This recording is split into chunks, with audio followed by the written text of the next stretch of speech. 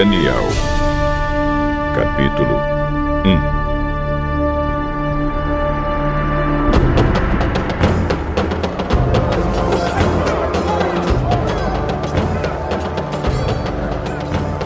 No terceiro ano de Jeoaquim, como rei de Judá, o rei Nabucodonosor, da Babilônia, atacou Jerusalém e os seus soldados cercaram a cidade. Deus deixou que Nabucodonosor conquistasse a cidade e também que pegasse alguns objetos de valor que estavam no templo. Nabucodonosor levou esses objetos para a Babilônia e mandou colocá-los no templo do seu Deus, na sala do tesouro.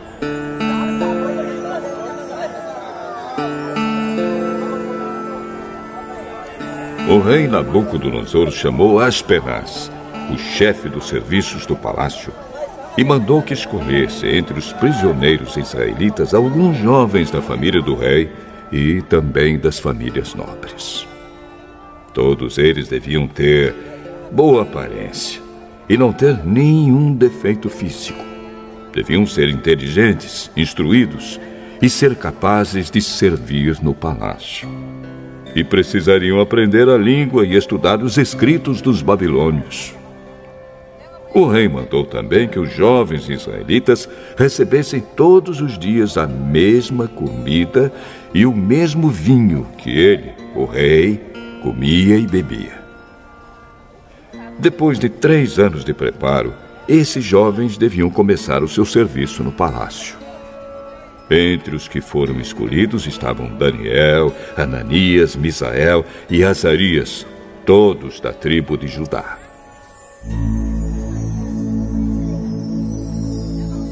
Aspenaz deu a eles outros nomes, isto é, Beltesazar, Sadraque, Mesaque e Abednego. Daniel resolveu que não iria ficar impuro por comer a comida e beber o vinho que o rei dava. Por isso, foi pedir a Aspenaz que o ajudasse a cumprir o que havia resolvido. Deus fez com que Aspenaz fosse bondoso com Daniel e tivesse boa vontade para com ele. Mas Aspenaz tinha medo do rei e por isso disse a Daniel: E foi o rei, o meu senhor, quem resolveu o que vocês devem comer e beber. Se, hum, se ele notar que vocês estão menos fortes e sadios do que os outros jovens, ele será capaz de me matar. E vocês serão os culpados. Aí Daniel foi falar com o guarda, quem Aspenaz havia encarregado de cuidar dele, de Ananias, de Misael e de Azarias. Daniel disse a ele: Quero pedir que o senhor faça uma experiência com a gente. Durante dez dias, nos dê somente legumes para comer e água para beber. No fim dos dez dias, faça uma comparação entre nós e os jovens que comem a comida do rei. Então, dependendo de como estivermos, o senhor fará com a gente o que quiser. O guarda concordou e durante dez dias fez a experiência com eles.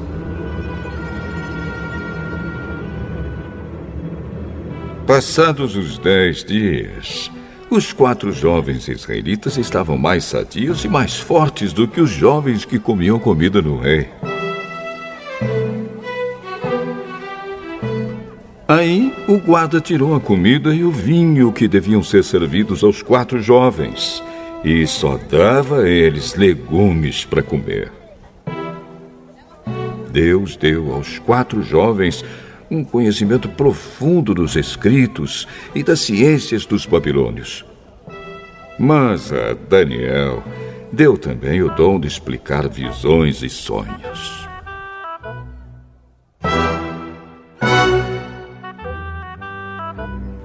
No fim dos três anos de preparo que o rei Nabucodonosor tinha marcado, Aspenaz levou todos os jovens até a presença do rei. Este falou com eles. E entre todos não havia quem se comparasse com Daniel, Ananias, Misael e Azarias. Por isso ficaram trabalhando no palácio.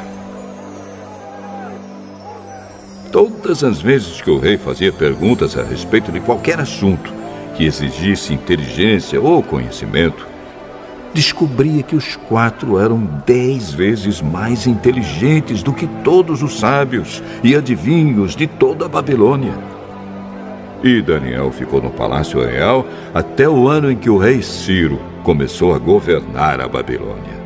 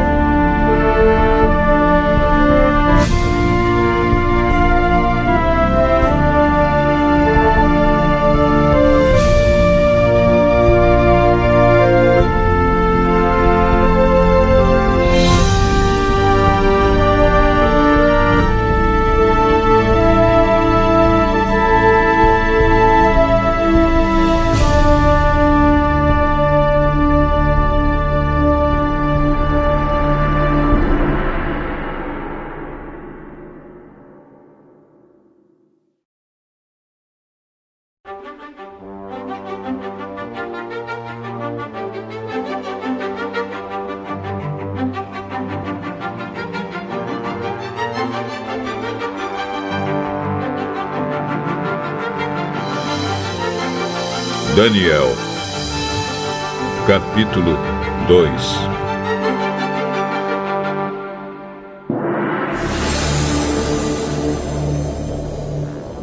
No segundo ano de Nabucodonosor como rei da Babilônia, ele teve uns sonhos que o deixaram tão preocupado que não podia dormir.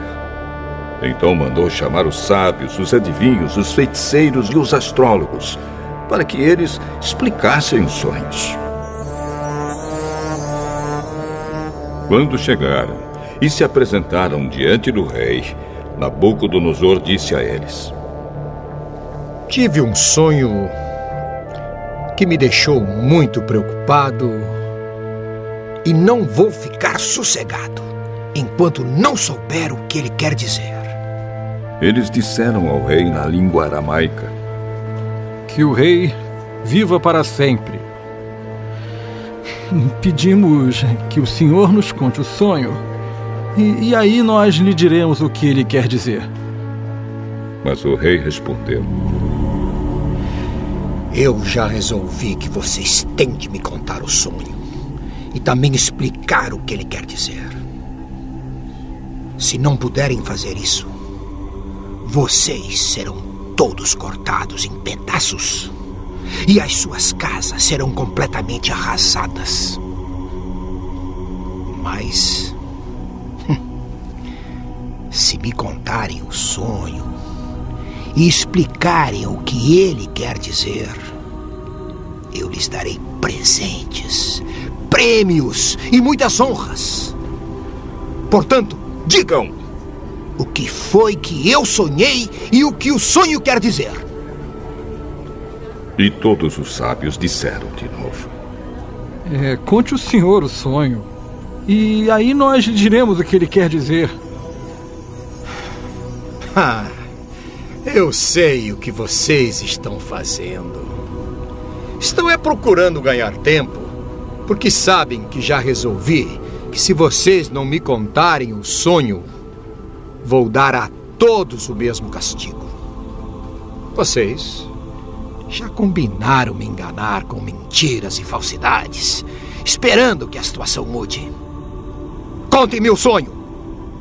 E então eu saberei que também poderão explicar o que ele quer dizer. Os sábios deram ao rei esta resposta. É, mas, mas, mas não há ninguém no mundo que seja capaz de fazer o que o senhor quer. Nunca houve nenhum rei, por mais forte e poderoso que fosse, que tivesse exigido uma coisa dessas dos seus sábios, adivinhos ou astrólogos. O que o senhor está querendo é impossível. Não existe quem possa atender o seu pedido, a não ser os deuses. E, e eles não moram com a gente aqui na Terra. O rei ficou tão furioso que mandou matar todos os sábios da Babilônia. A ordem foi publicada E então foram buscar Daniel e os seus companheiros para que eles também fossem mortos. Daniel foi procurar Arioque, o chefe da guarda do rei, que tinha recebido ordem para matar todos os sábios da Babilônia. Com muito jeito e cuidado, Daniel perguntou a Arioque: Mas por que foi que o rei deu uma ordem tão dura assim? Arioque explicou o que havia acontecido. Então Daniel foi falar com o rei. E este concordou em esperar, a fim de dar tempo a Daniel para explicar o sonho. Depois, Daniel foi para casa e contou tudo aos seus amigos Ananias, Misael e Azarias. Daniel disse que orassem ao Deus do céu, pedindo que tivesse pena deles e lhes mostrasse o que aquele sonho misterioso queria dizer, a fim de que Daniel e os seus amigos não morressem junto com os outros sábios da Babilônia.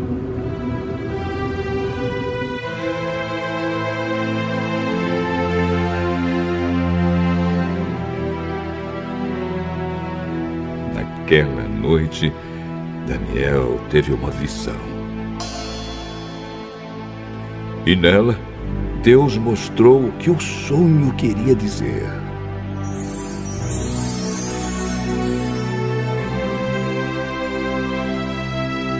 Então Daniel agradeceu a Deus, dizendo: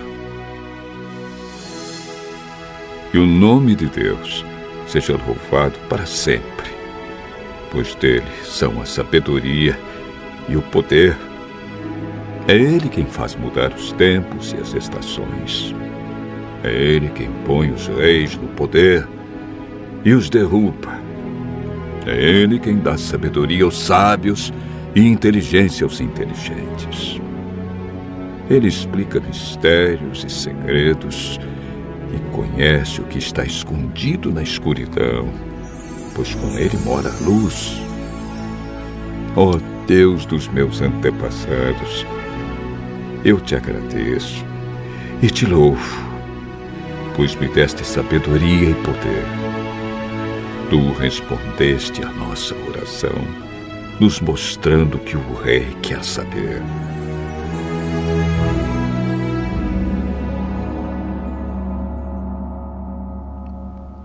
Aí Daniel foi procurar Arioque, o oficial que tinha recebido ordem do rei para matar os sábios da Babilônia. Daniel disse: Arioque, não mate os sábios. Leve-me para falar com o rei. E eu explicarei o sonho que ele teve. Arioque levou Daniel depressa para o lugar onde o rei estava. E lhe disse: Está aqui comigo um dos judeus que trouxemos como prisioneiros. E ele vai explicar o sonho que o senhor teve. O rei perguntou a Daniel, que também era chamado de Beltesazar. Você pode contar o meu sonho e explicar o que ele quer dizer? Não há sábios, adivinhos, feiticeiros, nem astrólogos que possam dar a explicação que o senhor está exigindo. Mas há um Deus no céu que explica mistérios. Foi por meio do sonho que ele fez o senhor saber o que vai acontecer no futuro. E agora, ó oh rei, eu vou explicar o sonho e as visões que o senhor teve enquanto dormia. O senhor estava deitado na sua cama e começou a pensar a respeito do futuro e aquele que explica mistérios mostrou ao Senhor o que vai acontecer. E eu recebi a explicação do mistério. Não porque seja o mais sábio de todos os homens, mas a fim de que o Senhor saiba o sentido do sonho que teve E o que querem dizer os pensamentos que passaram pela sua mente, ó oh, Rei? O Senhor teve uma visão na qual viu uma estátua enorme, de pé, bem na sua frente. A estátua era brilhante, mas metia medo. A cabeça era de ouro puro. O peito e os braços eram de prata. A barriga e os quadris eram de bronze. As pernas eram de ferro e os pés eram metade de ferro e metade de barro. Enquanto o senhor estava olhando, uma pedra se soltou de uma montanha sem que ninguém a tivesse empurrado. A pedra caiu em cima dos pés da estátua e os despedaçou. Imediatamente o ferro, o barro, o bronze, a prata e o ouro viraram pó. Como pó que se vê no verão quando se bate o trigo para separá-lo da palha. O vento levou tudo embora, sem deixar nenhum sinal. Mas a pedra cresceu e se tornou uma grande montanha que cobriu o mundo inteiro. Foi este o sonho. E agora eu vou explicá-lo para o senhor.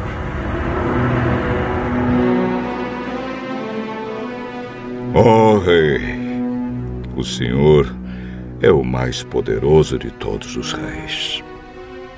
E foi o Deus do céu quem o fez rei. Ele lhe deu poder, autoridade e honra. Ele deu ao Senhor o domínio em todo o mundo sobre os seres humanos, os animais e as aves. O Senhor é a cabeça feita de ouro. Depois do seu reino haverá outro, que não será tão poderoso como o seu e depois desse reino haverá ainda outro, um reino de bronze, que dominará o mundo inteiro. Depois virá um quarto reino, e este será forte como ferro, que quebra e despedaça tudo. E assim como o ferro quebra tudo, esse reino destruirá completamente todos os outros reinos do mundo. Na estátua que o senhor viu, os pés e os dedos dos pés eram metade de ferro e metade de barro. Isso quer dizer que esse reino será dividido, mas terá alguma coisa da força do ferro. Pois, como o senhor viu, o ferro estava misturado com barro. Os dedos dos pés eram metade de ferro e metade de barro. Isso quer dizer que o reino, por um lado, será forte, mas, por outro lado, será fraco. O Senhor, ó oh rei, viu que o ferro estava misturado com barro. E isso quer dizer que os reis procurarão unir os seus reinos por meio de casamentos. Mas como o ferro e o barro não se unem, assim também esses reinos não ficarão unidos. No tempo desses reis, o Deus do céu fará aparecer um reino que nunca será destruído, nem será conquistado por outro reino. Pelo contrário, esse reino acabará com todos os outros e durará para sempre. É isso que quer dizer a pedra que o rei viu soltar-se da montanha sem que ninguém a tivesse empurrado, e que despedaçou a estátua feita de ferro, bronze, prata, barro e ouro. O grande Deus está revelando ao Senhor o que vai acontecer no futuro.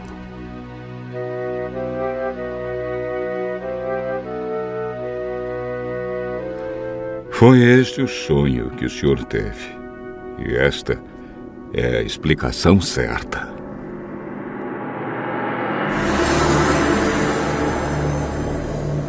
Então o rei Nabucodonosor se ajoelhou diante de Daniel e encostou o rosto no chão.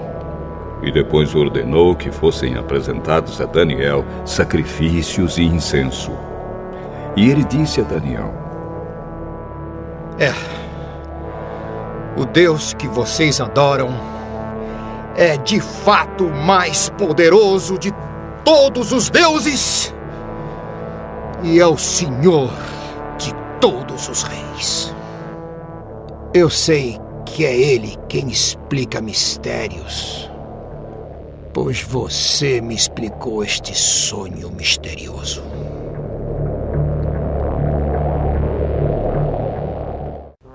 Em seguida, o rei colocou Daniel como alta autoridade do reino e lhe deu também muitos presentes de valor.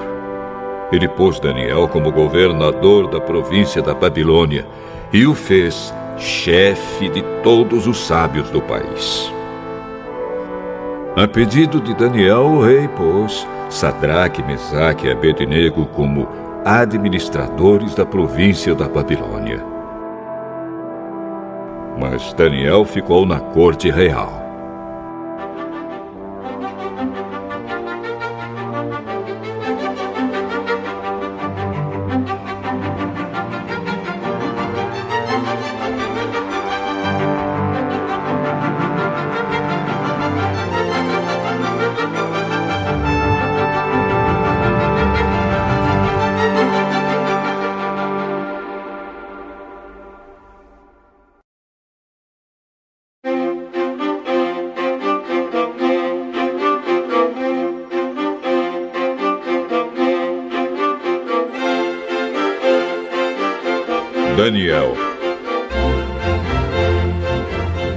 Capítulo 3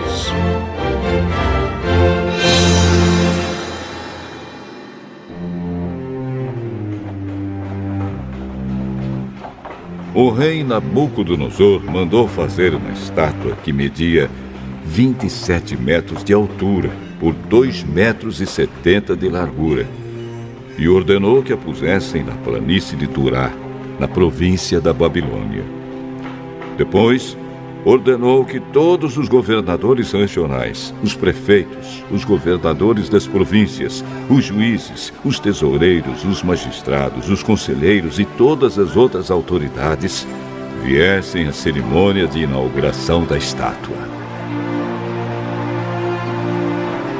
Todos eles vieram e ficaram de pé em frente da estátua para a cerimônia de inauguração. Aí o encarregado de anunciar o começo da cerimônia disse em voz alta: Povos de todas as nações, raças e línguas, quando ouvirem o som das trombetas, das flautas, das cítaras, das liras, das harpas, e dos outros instrumentos musicais. Ajoelhem-se todos e adorem a estátua de ouro que o rei Nabucodonosor mandou fazer. Quem não se ajoelhar e não adorar a estátua será jogado na mesma hora numa fornalha acesa.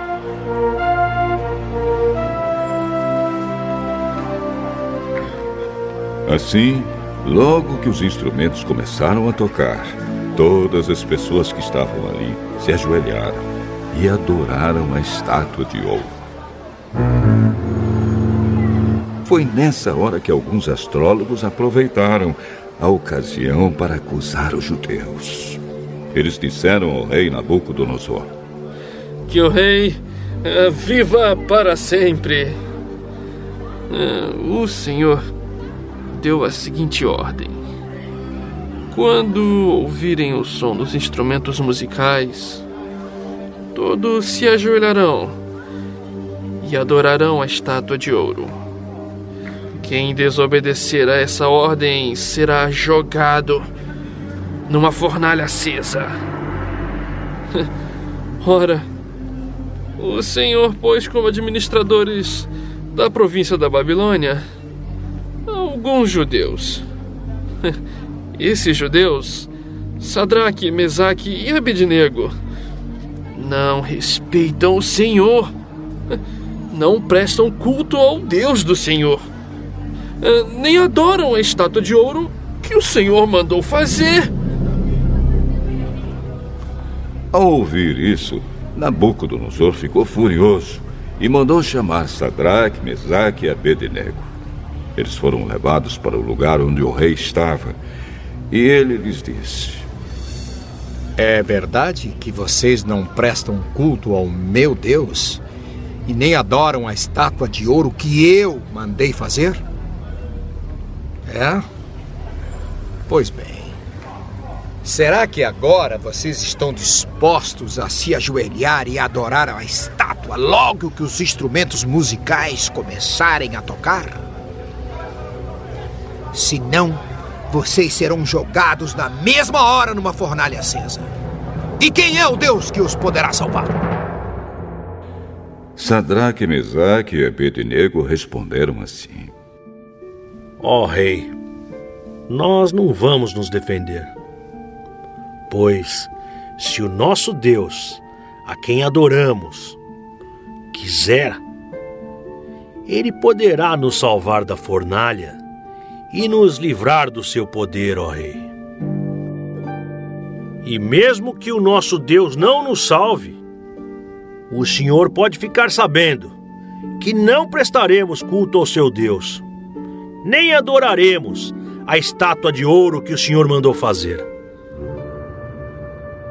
Ao ouvir isso, Nabucodonosor ficou furioso com os três jovens e, vermelho de raiva, mandou que se esquentasse a fornalha sete vezes mais do que de costume.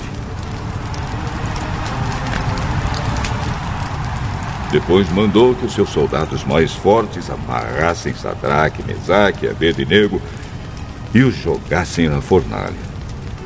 Os três jovens, completamente vestidos com seus mantos, capas, chapéus e todas as outras roupas, foram amarrados e jogados na fornalha.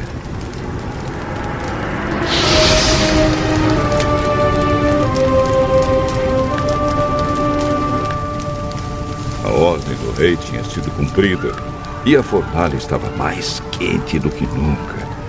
Por isso, as lavaredas mataram os soldados que jogaram os três jovens lá dentro.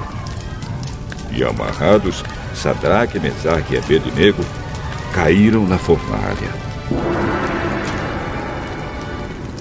De repente, Nabucodonosor se levantou e perguntou, muito espantado, aos seus conselheiros: Não foram três os homens que amarramos e jogamos na fornalha? É, Sim, senhor.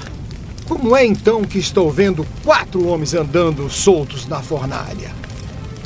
Eles estão passeando lá dentro, sem sofrerem nada. E o quarto homem parece um anjo. Aí o rei chegou perto da porta da fornalha e gritou: Sadraque, Mesaque e Abednego, servos do Deus Altíssimo, Saiam daí, venham cá! Os três saíram da fornalha e todas as autoridades que estavam ali chegaram perto deles e viram que o fogo não havia feito nenhum mal a eles. As labaredas não tinham chamuscado nem um cabelo da sua cabeça. As suas roupas não estavam queimadas e eles não estavam com cheiro de fumaça. O rei gritou: Que o Deus de Sadraque, Mesaque e Abednego seja louvado! Ele enviou o seu anjo e salvou os seus servos que confiam nele.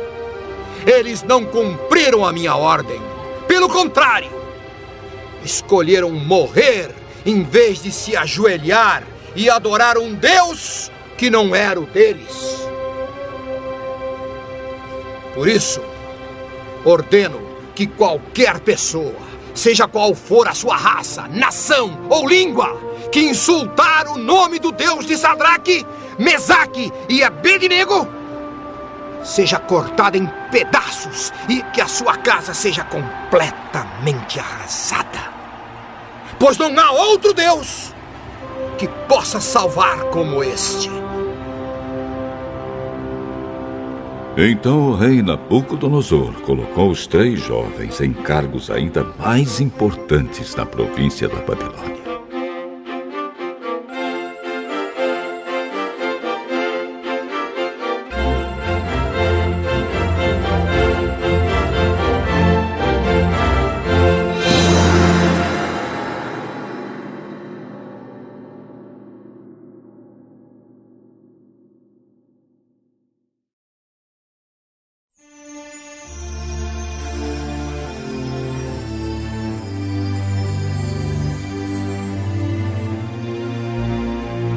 Daniel, capítulo 4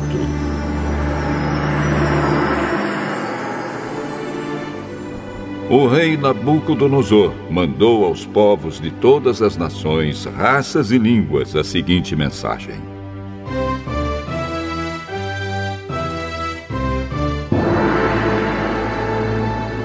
Felicidade e paz para todos. Quero que todos saibam dos maravilhosos milagres que o Deus Altíssimo fez em meu favor. Grandes são os seus milagres e as coisas que ele fez são espantosas. Pois ele é o Rei eterno e reinará para sempre. Eu, Nabucodonosor, vivia sossegado no meu palácio e tudo ia muito bem. Mas, certa noite, tive um sonho que me deixou preocupado. Enquanto dormia, ideias e visões horrorosas tomaram conta de mim. Por isso, mandei chamar todos os sábios da Babilônia para que eles me explicassem o sonho. Vieram então os sábios, os adivinhos, os astrólogos e os feiticeiros, e eu contei a eles o sonho, mas nenhum deles pôde explicá-lo. Finalmente, apresentou-se Daniel conhecido também como Beltesazar, nome que recebeu em honra do meu Deus. O Espírito dos Santos Deuses está nele e por isso eu lhe contei o meu sonho. E disse: Beltesazar, chefe dos adivinhos, eu sei que o Espírito dos Santos Deuses está em você e que não há mistério que você não possa explicar. Por isso, vou lhe contar o sonho e quero que você explique o que ele quer dizer.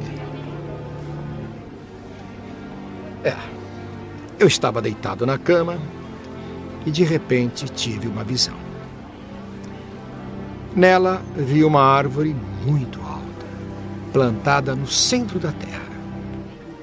A árvore cresceu e cresceu até tocar o céu e era tão grande que podia ser vista de qualquer lugar do mundo.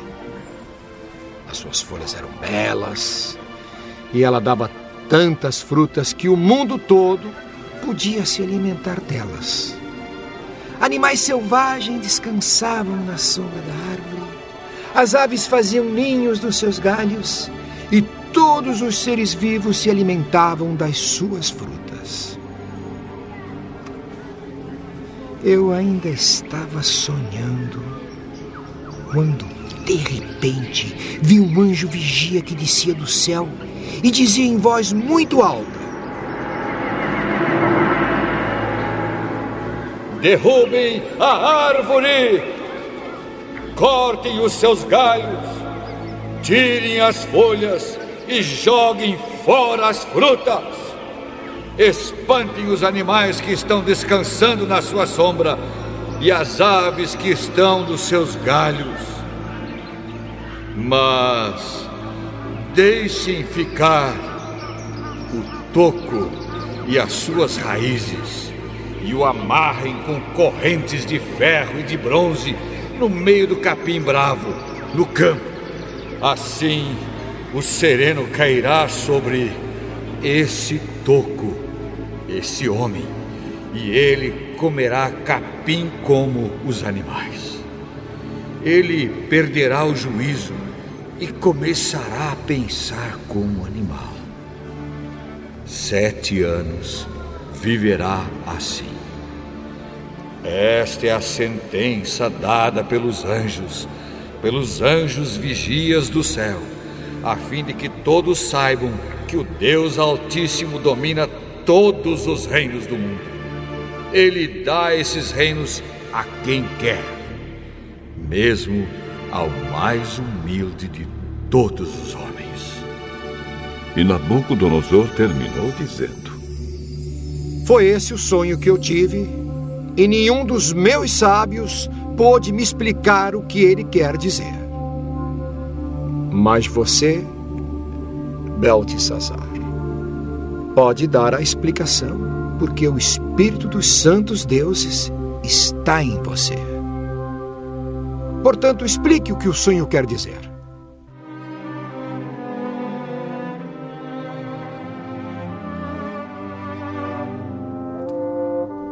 Ao ouvir isso, Daniel, também conhecido como Beltesazar, ficou espantado e por alguns instantes não sabia o que pensar. O rei lhe disse: Beltesazar, não se preocupe com o sonho nem com o que ele quer dizer. Oh, rei, quem dera que o sonho e a sua mensagem não fossem a respeito do Senhor mas a respeito dos seus inimigos. O Senhor viu uma árvore que cresceu, e cresceu até tocar o céu, e que era tão grande podia ser vista de qualquer lugar do mundo. As suas folhas eram belas, e ela dava tantas frutas que o mundo todo podia se alimentar delas. Animais selvagens descansavam na sombra da árvore e as aves faziam ninhos nos seus galhos. Aquela árvore, oh, rei, é o Senhor. Pois o Senhor se tornou poderoso e o seu poder aumentou tanto que chegou até o céu e o seu domínio se estendeu pelo mundo inteiro. E o Senhor viu também um anjo vigia descendo do céu e dizendo: Derrubem a árvore e quebrem todos os seus galhos, mas deixem ficar o toco e as suas raízes, e o amarrem com correntes de ferro e de bronze, para que fique no meio do capim bravo, no campo Assim o sereno cairá sobre esse homem, e ele terá de comer o que os animais comem. Sete anos ele viverá assim. E Daniel continuou. E agora vou dar a explicação. Este sonho trata da sentença do Deus Altíssimo contra o Senhor, ó Rei. O Senhor será expulso do meio dos seres humanos e ficará morando com os animais selvagens. Senhor comerá capim como os bois, dormirá ao ar livre e ficará molhado pelo sereno. Isso durará sete anos, até que o Senhor reconheça que o Deus Altíssimo domina todos os reinos do mundo e coloca como rei o homem que ele quer. A ordem do anjo para que deixassem ficar o toco da árvore com as raízes quer dizer que o Senhor será rei de novo, mas só quando confessar que Deus domina o mundo inteiro. Ó oh, rei, aceite o meu conselho. Deixe de pecar e faça o que é certo. Acabe com as suas maldades e ajude os pobres. Assim, talvez o Senhor possa continuar a viver em paz e felicidade.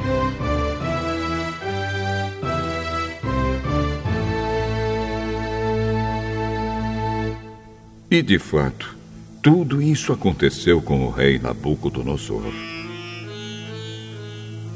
Doze meses mais tarde, ele estava passeando no terraço do seu palácio na cidade de Babilônia e disse: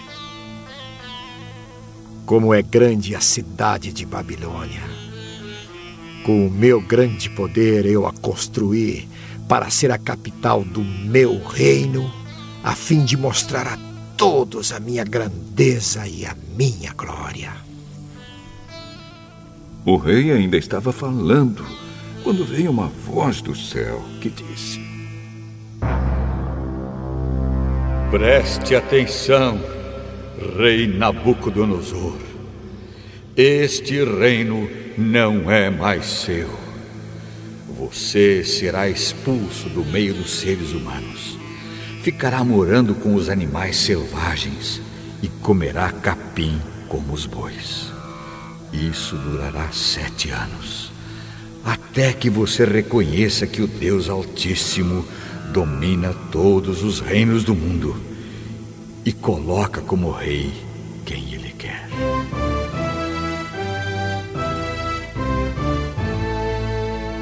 Naquele mesmo instante, cumpriu-se a sentença contra Nabucodonosor.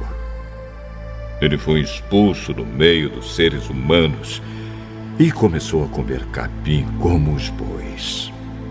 Dormia ao ar livre e ficava molhado pelo sereno. O seu cabelo ficou comprido, parecido com penas de águia. E as suas unhas cresceram tanto que pareciam garras de um gavião.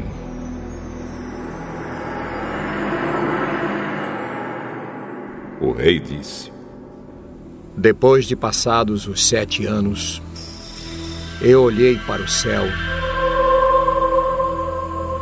e o meu juízo voltou. Aí agradeci ao Deus Altíssimo e dei louvor e glória àquele que vive para sempre. Eu disse: O poder do Altíssimo é eterno, o seu reino não terá fim. Para ele, os seres humanos não têm nenhum valor. Ele governa todos os anjos do céu e todos os moradores da terra. Não há ninguém que possa impedi-lo de fazer o que quer. Não há ninguém que possa obrigá-lo a explicar o que faz. Logo que o meu juízo voltou, eu recebi outra vez a minha honra, a minha majestade e a glória do meu reino os meus conselheiros e as altas autoridades do meu governo me receberam de volta. Fui rei de novo, com mais poder do que antes. Portanto, eu, o rei Nabucodonosor, agradeço ao Rei do céu e lhe dou louvor e glória. Tudo o que ele faz é certo e justo, e ele pode humilhar qualquer qualquer pessoa orgulhosa.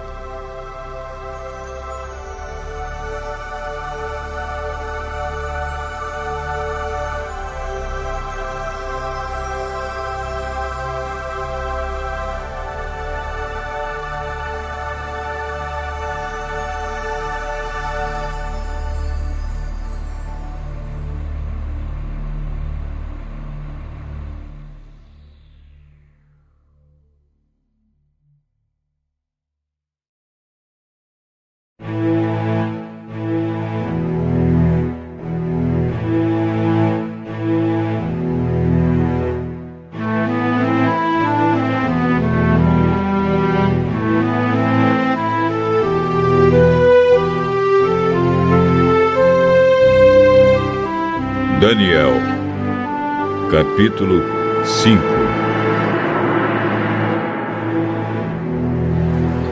Certa noite, o rei Belsazar da Babilônia deu um banquete. Convidou mil autoridades do país e começou a beber vinho com os convidados. Depois de beber bastante, mandou que trouxessem os copos de ouro e de prata que Nabucodonosor, seu pai, havia tirado do templo de Jerusalém. Belsazar queria os copos para que ele, os seus convidados de honra e as suas mulheres e as suas concubinas os usassem para beber vinho.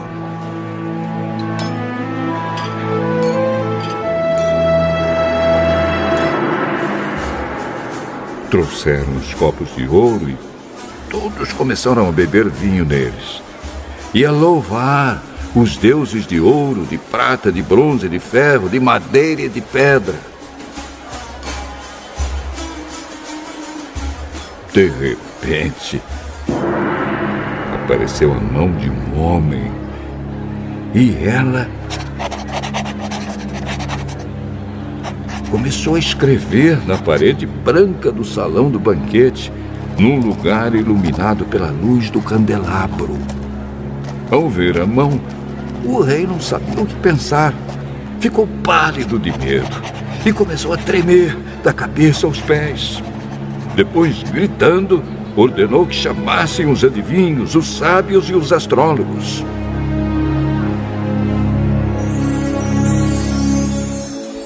Logo que eles chegaram, Belsazar disse: Aquele que ler o que está escrito na parede e me explicar o que quer dizer, será vestido com roupas de púrpura e receberá uma corrente de ouro para pôr no pescoço e será a terceira autoridade mais importante no meu reino.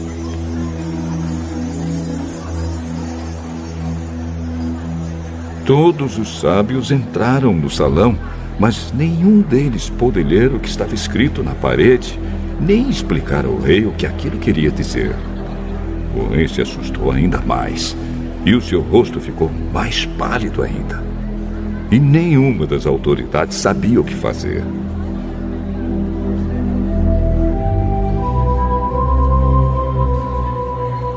Então a rainha mãe, que tinha ouvido os gritos do rei e dos seus convidados de honra, entrou no salão e disse ao rei: Que o rei viva para sempre. Não se assuste, nem fique pálido assim, pois aqui no seu reino há um homem que tem o espírito dos santos deuses. Quando Nabucodonosor, seu pai, era rei, esse homem provou que era ajuizado, inteligente e sábio, tão sábio como os deuses.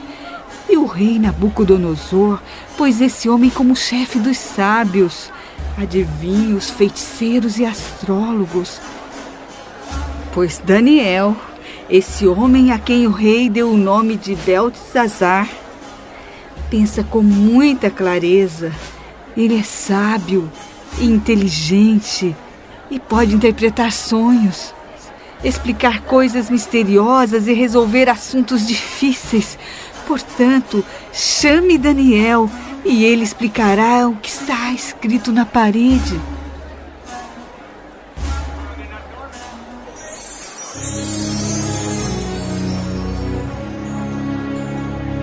Levaram Daniel até a presença do rei. E este perguntou: Você é mesmo aquele Daniel? Um dos judeus que meu pai, o rei Nabucodonosor, trouxe de Judá como prisioneiro? Já me disseram que o Espírito dos deuses está em você e que você pensa com muita clareza e é muito inteligente e sábio. Há pouco estiveram aqui os sábios, os astrólogos, que eu mandei chamar para que lessem as palavras que estão escritas na parede e me explicassem o que elas querem dizer. Porém, eles não puderam dar nenhuma explicação. Mas alguém me disse que você pode explicar mistérios e resolver assuntos difíceis. Portanto, se você puder ler o que está escrito e me explicar o que quer dizer, você será vestido com roupas de púrpura e receberá uma corrente de ouro para pôr no pescoço. E será a terceira autoridade mais importante do meu reino. Daniel respondeu: O senhor pode ficar com seus presentes, ou então dá-los a outra pessoa. Mesmo assim, Eu vou ler as palavras que estão escritas na parede e vou explicar ao Senhor o que elas querem dizer. Oh, Rei, o Deus Altíssimo deu o reino ao seu pai, o rei Nabucodonosor. E lhe deu também poder, glória e majestade.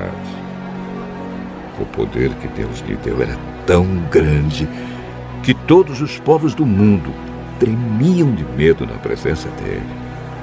Se ele queria, matava uma pessoa, ou se queria, deixava que vivesse. Elevava uns e rebaixava outros.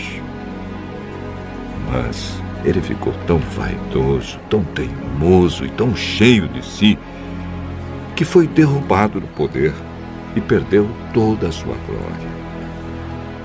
Foi expulso do meio dos seres humanos.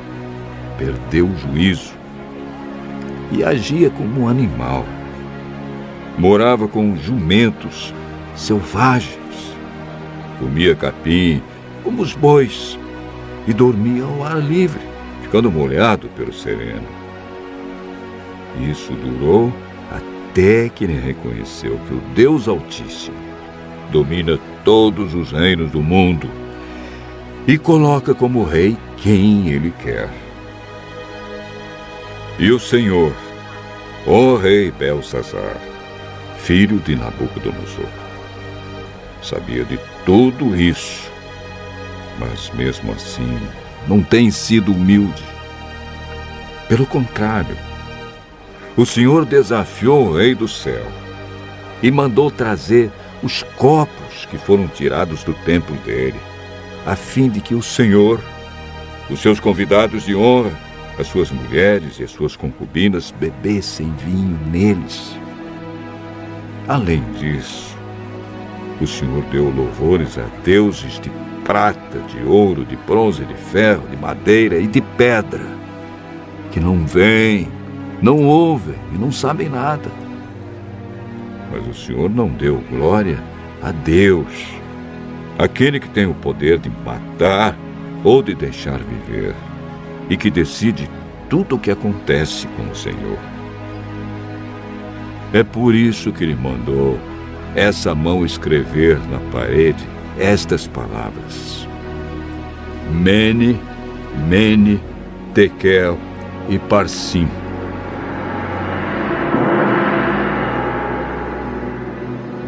E agora a explicação. Mene quer dizer que Deus contou o número dos dias do reinado do Senhor e resolveu terminá-lo. Tekel quer dizer que o Senhor foi pesado na balança e pesou muito pouco. Pérez quer dizer que o seu reino será dividido e entregue aos medos e aos persas.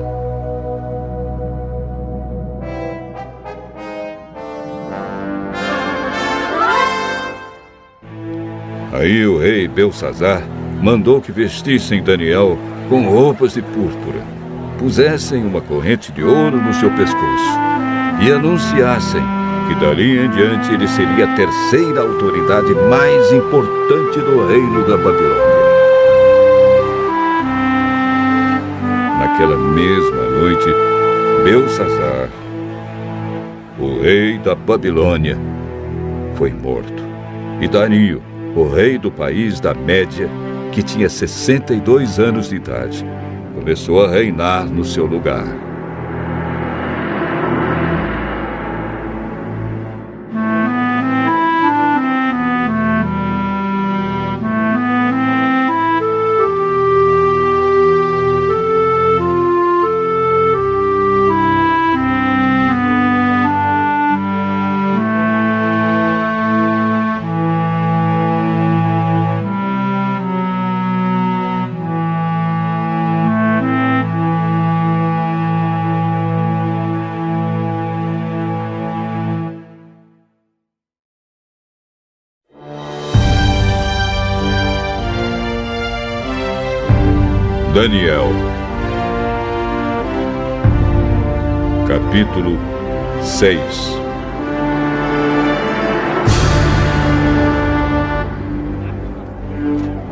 O rei Dario resolveu dividir o país em 120 províncias e escolher 120 homens para governá-las.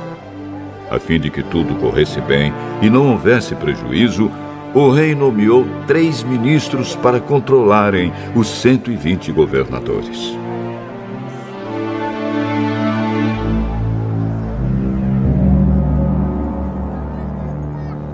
Desses ministros era Daniel. E ele mostrou logo que era mais competente do que os outros ministros e governadores. Ele tinha tanta capacidade que o rei pensou em colocá-lo como a mais alta autoridade do reino.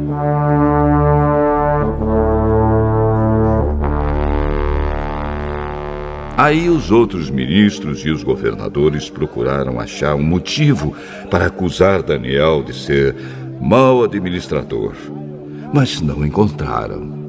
Daniel era honesto e direito e ninguém podia acusá-lo de ter feito qualquer coisa errada. Então eles disseram uns aos outros: uh, Nunca encontraremos motivo para acusar Daniel, a não ser que seja alguma coisa que tenha a ver com a religião dele. Então, foram todos juntos falar com o rei. Que o rei Dario viva para sempre. É, todos nós que ocupamos posições de autoridade no reino, isto é, os ministros, os governadores, os prefeitos e as outras autoridades, nos reunimos e concordamos em pedir ao Senhor que dê uma ordem que não poderá ser desobedecida. É, ordene que durante 30 dias todos façam seus pedidos somente ao Senhor. Se durante esse tempo alguém fizer um pedido a qualquer Deus ou a qualquer outro homem, essa pessoa será jogada na cova dos leões. Portanto, ó rei, dê a ordem e assine a fim de que não possa ser anulada. De acordo com a lei dos Medos e dos Persas, essa ordem não poderá ser anulada. O rei concordou, assinou a ordem e mandou que fosse publicada.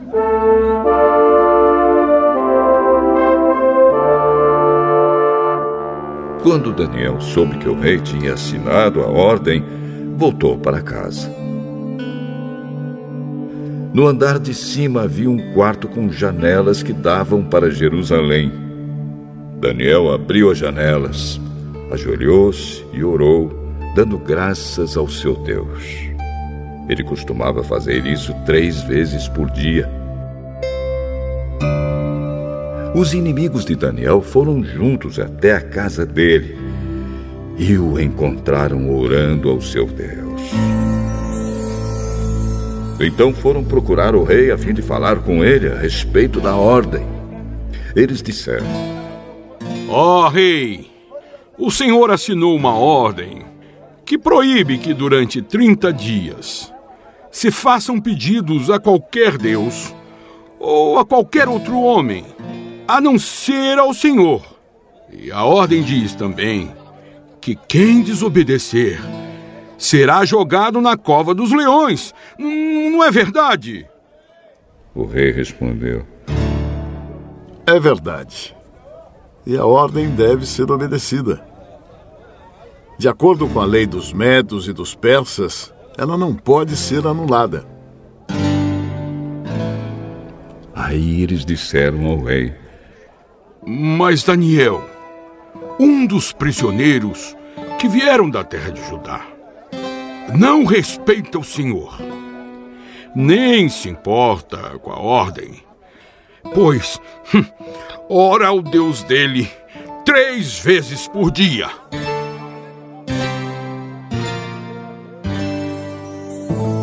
Ao ouvir isso, o rei ficou muito triste e resolveu salvar Daniel. Até o pôr do sol daquele dia, ele fez tudo o que pôde para salvá-lo. Os inimigos de Daniel foram falar de novo com o rei e disseram: O senhor sabe muito bem que, de acordo com a lei dos medos e dos persas, nenhuma ordem ou lei assinada pelo rei pode ser anulada. Então o rei mandou que trouxessem Daniel e o jogassem na cova dos leões. E o rei disse a Daniel: Espero que o seu Deus, a quem você serve com tanta dedicação, o salve. Trouxeram uma pedra com ela taparam a boca da cova. O rei selou a pedra com o seu próprio anel e com o anel das altas autoridades do reino, para que mesmo no caso de Daniel, a lei fosse cumprida ao pé da letra.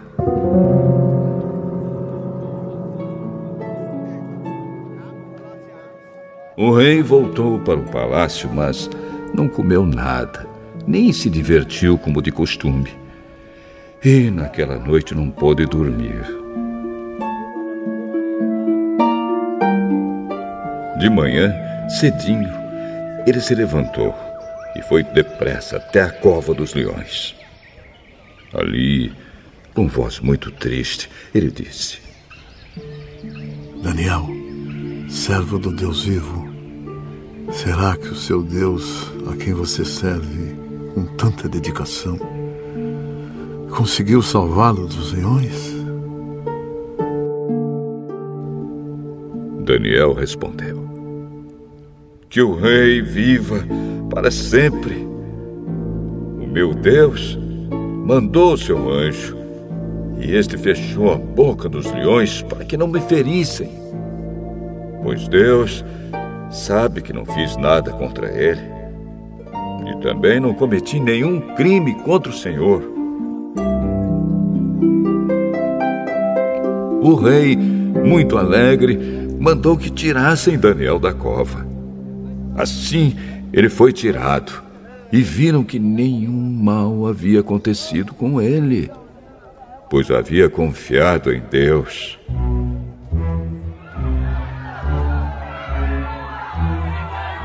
Em seguida, o rei mandou que trouxessem os homens que tinham acusado Daniel. Todos eles, junto com as suas mulheres e os seus filhos, foram jogados na cova. E antes mesmo de chegarem ao fundo, os leões os atacaram e os despedaçaram.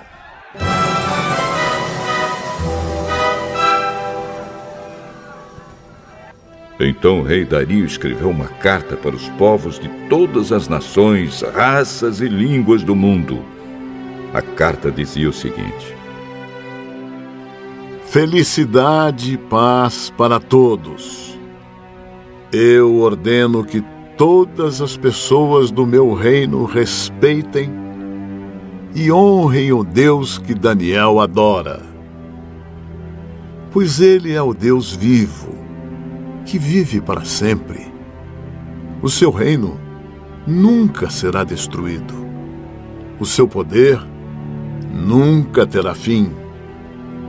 Ele socorre e salva, no céu e na terra ele faz milagres e maravilhas. Foi ele quem salvou Daniel, livrando das garras dos leões. E Daniel continuou a ser uma alta autoridade no governo durante o reinado de Dario e depois durante o reinado de Ciro, da Pérsia.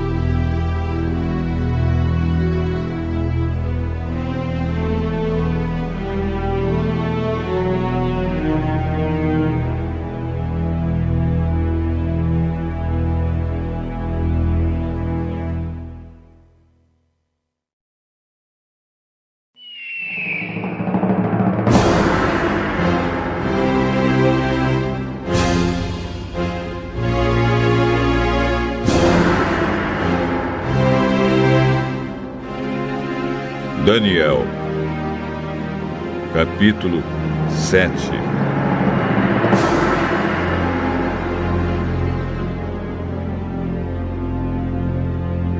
Certa noite, durante o primeiro ano de Belsazar como rei da Babilônia, Daniel se deitou na sua cama e sonhou. E no sonho teve visões. Quando acordou, ele escreveu aquilo que tinha sonhado. Aqui está o que ele escreveu.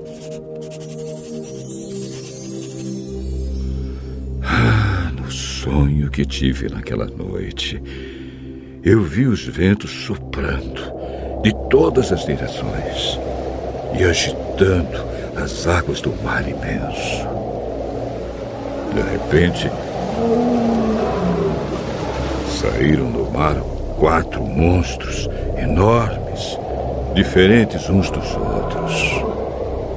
O primeiro parecia um leão, mas tinha asas de águia. Enquanto eu olhava, as suas asas foram arrancadas e ele foi posto de pé para que andasse como homem. E foi dada a ele uma mente humana. O segundo monstro era parecido com um urso ele se levantou nas patas de trás e segurava três costelas na boca. E uma voz lhe dizia: Vá e coma muita carne. Depois viu o terceiro monstro. E este era parecido com um leopardo. Ele tinha quatro cabeças e nas costas tinha quatro asas, como asas de ave. A este animal foi dada a autoridade para reinar.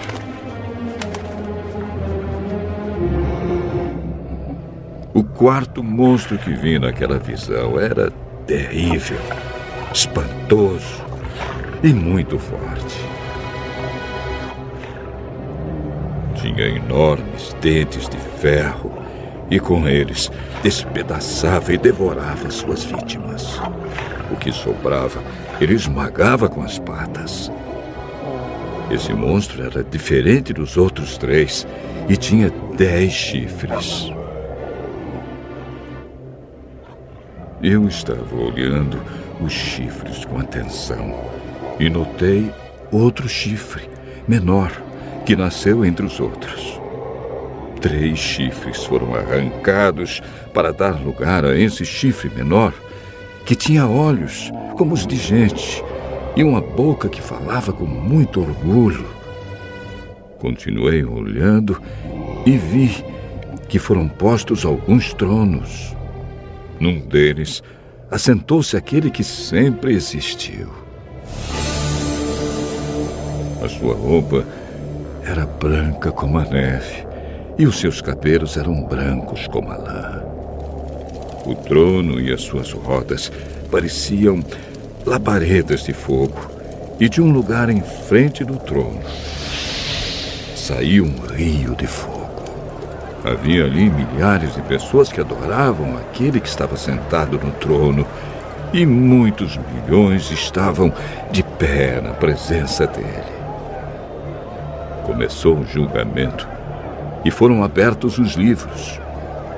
Continuei olhando, pois o chifre pequeno ainda estava dizendo palavras orgulhosas. E vi quando o quarto monstro foi morto e o seu corpo foi despedaçado e jogado no fogo.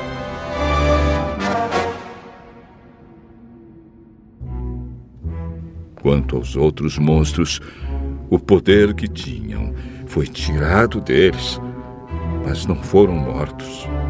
Foi dado a eles mais um pouco de tempo para viverem.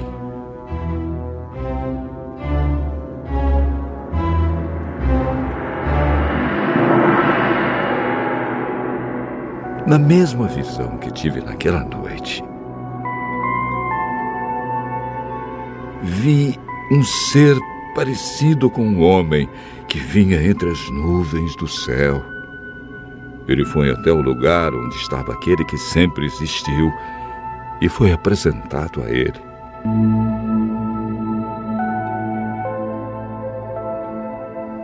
Deram-lhe o poder, a honra e a autoridade de rei, a fim de que os povos de todas as nações, línguas e raças o servissem. O seu poder é eterno e o seu reino não terá fim. As visões me espantaram e eu fiquei preocupado com o que tinha visto. Cheguei perto de um dos que estavam ali e pedi que me explicasse o que eu tinha visto. Então ele explicou assim.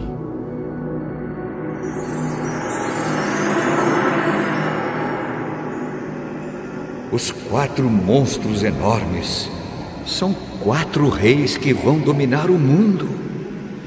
Mas o reino será dado ao povo do Deus Altíssimo, e esse povo reinará para sempre.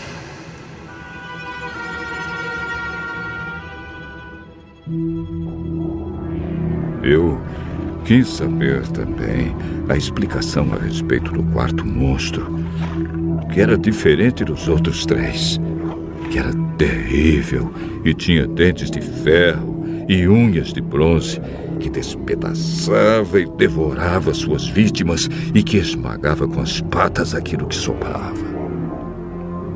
Pedi também que me explicasse os dez chifres que esse monstro tinha na cabeça e o outro chifre que havia crescido, derrubando três chifres. Esse chifre, que parecia mais forte do que os outros, tinha olhos e uma boca que falava com muito orgulho. Enquanto eu olhava, esse chifre começou a lutar contra o povo de Deus e estava vencendo, até que chegou aquele que sempre existiu. Ele julgou a favor do povo do Deus Altíssimo, pois havia chegado o tempo desse povo começar a reinar.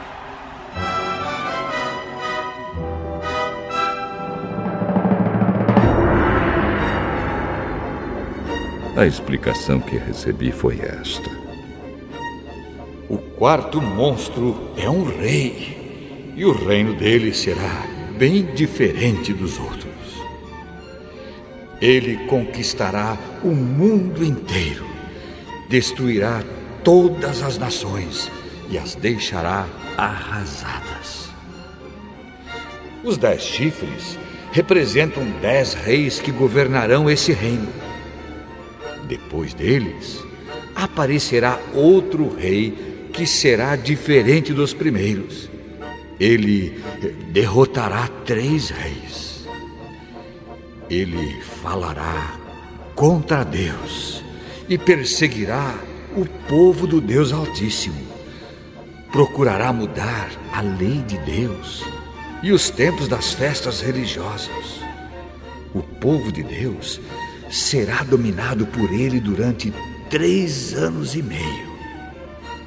Mas depois disso, o tribunal o condenará. E assim, ele perderá o seu reino e o seu poder acabará para sempre. Mas o reino, o poder e a glória serão dados ao povo do Deus Altíssimo e eles governarão o mundo inteiro para sempre. Todos os outros povos os servirão, todos lhes obedecerão.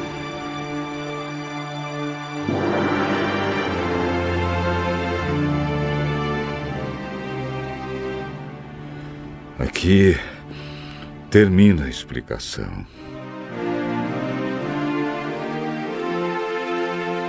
Eu continuei muito preocupado com os meus pensamentos e o meu rosto ficou pálido.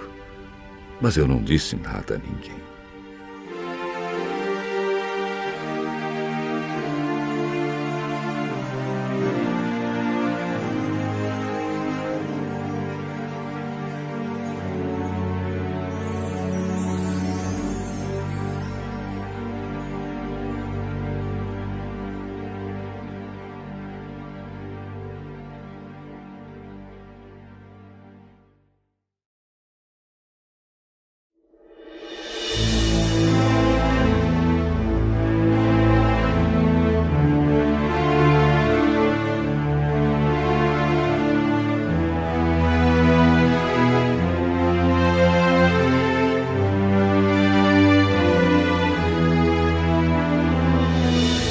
Daniel, capítulo 8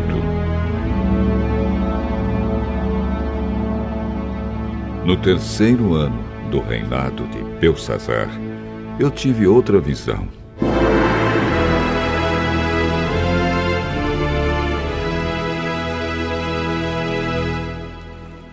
Parecia que eu estava na beira do rio Lai, em Suzã, uma cidade cercada de muralhas que fica na província de Elão.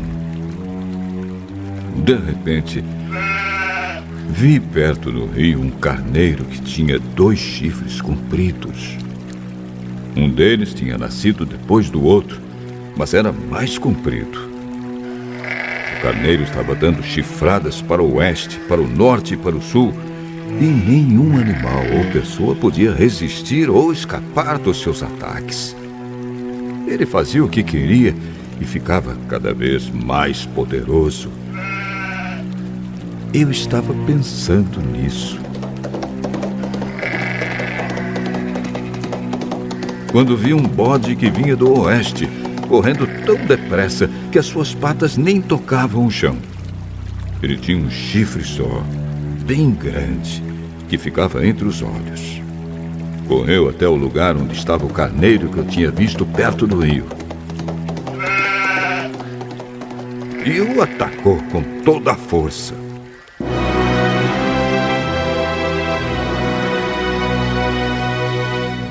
Eu vi o bode, furioso, atacar o carneiro e quebrar os dois chifres dele, pois o carneiro não tinha força para se defender. O bode jogou o carneiro no chão e o pisou com as patas. E ninguém podia salvar o carneiro da fúria do bode. Ele ficou ainda mais poderoso, mas quando seu poder chegou ao máximo, o seu chifre foi quebrado. E em lugar dele nasceram quatro chifres compridos que cresciam para o norte, para o sul, para o leste e para o oeste. De um desses chifres nasceu um chifre pequeno, que foi crescendo e se estendendo para o sul, para o leste e para a terra prometida. Cresceu tanto que chegou até o lugar onde está o exército do céu, que são as estrelas. Jogou na terra algumas delas e as pisou. Chegou até a desafiar o comandante desse exército. Acabou com os sacrifícios diários que eram oferecidos a esse comandante e deixou o seu templo todo estragado. Em vez do sacrifício diário, foi apresentada uma oferta nojenta. Ele acabou com a verdadeira religião e tudo o que fez deu certo.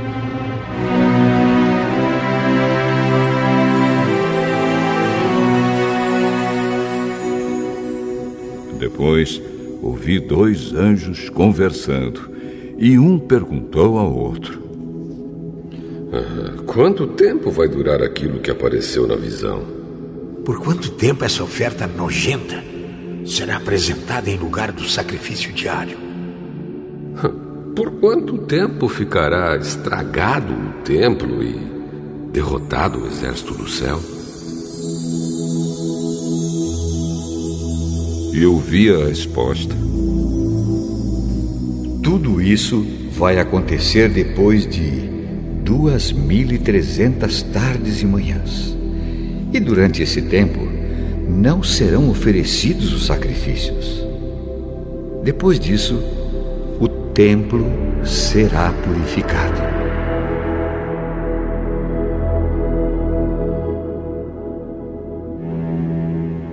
Eu estava procurando entender o que tinha visto quando apareceu na minha frente um ser que parecia um homem.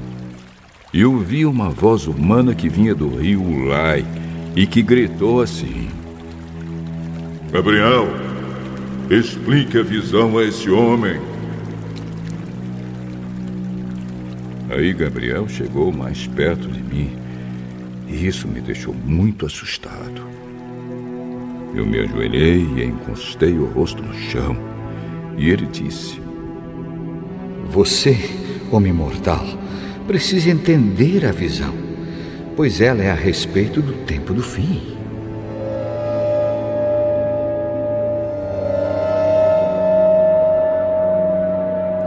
Ele ainda falava quando desmaiei e caí de bruços no chão. Mas ele me pegou, me pôs de pé e disse: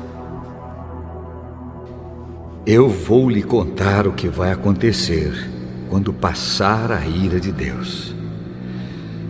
Pois essa visão é a respeito do tempo marcado para o fim.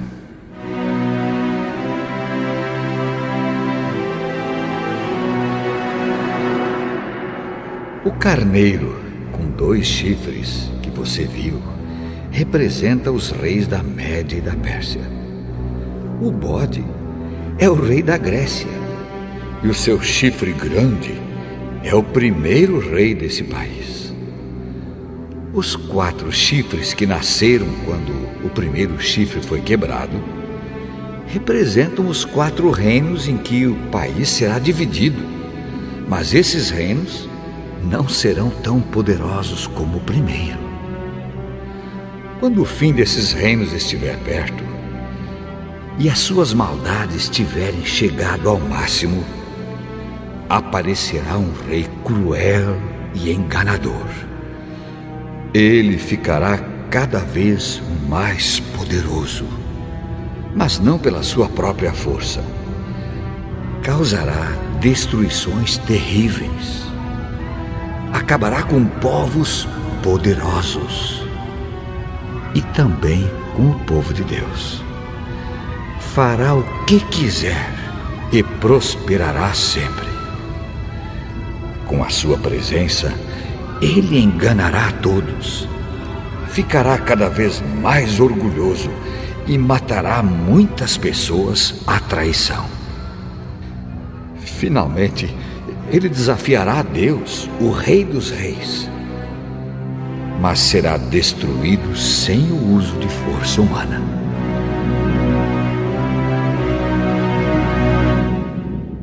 E Gabriel terminou assim. Você já ouviu a verdadeira explicação dos sacrifícios da tarde e da manhã. Mas não diga a ninguém o que quer dizer a visão que você teve pois ainda vai demorar muito tempo até que ela se cumpra.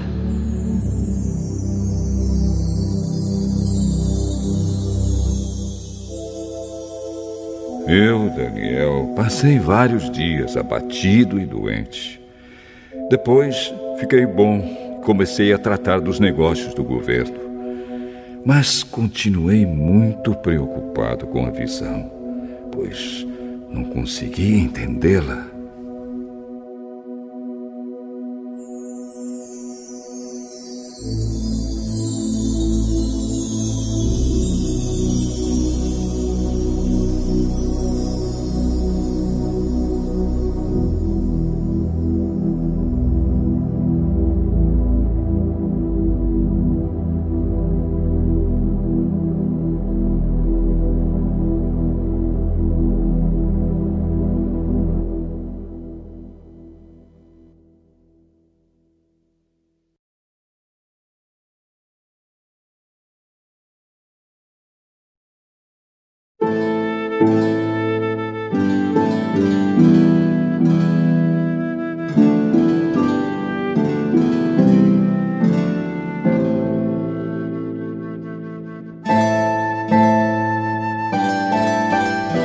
Daniel,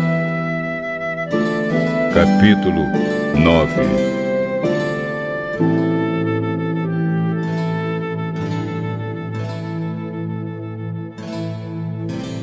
Dario, filho de Xerxes, do país da Média, era rei da Babilônia.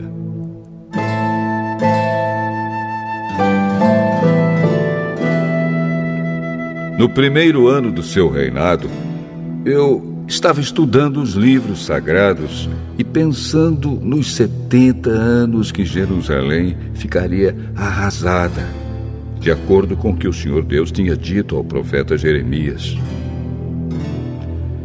Em sinal de tristeza, Eu vesti uma roupa feita de pano grosseiro. Sentei-me sobre cinzas. Deixei de comer e orei com fervor ao Senhor Deus, fazendo-lhe pedidos e súplicas. Orei ao Senhor, meu Deus, e fiz a seguinte confissão: Senhor Deus, tu és grande e poderoso. Tu guardas a aliança que fizeste com os que te amam e obedecem os teus mandamentos e sempre lhes dás provas do teu amor.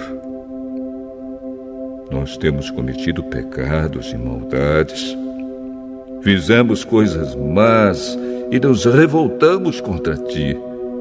Desobedecemos às tuas leis e aos teus mandamentos. Não demos atenção aos teus servos, os profetas, que falaram em teu nome aos nossos reis aos nossos líderes, aos nossos antepassados, sim, a todo o povo de Israel. Tu, ó Senhor, és sempre justo. Mas agora sentimos vergonha, nós, o teu povo, tanto os que vivem na Judéia e em Jerusalém, como os que tu espalhaste pelos países de perto e de longe. Tu fizeste isso porque eles se revoltaram contra ti. Os nossos reis, os nossos líderes, os nossos antepassados, todos nós temos pecado contra ti, ó Senhor, e por isso estamos envergonhados. Mas tu És misericordioso e estás pronto para nos perdoar, mesmo quando nos revoltamos contra ti.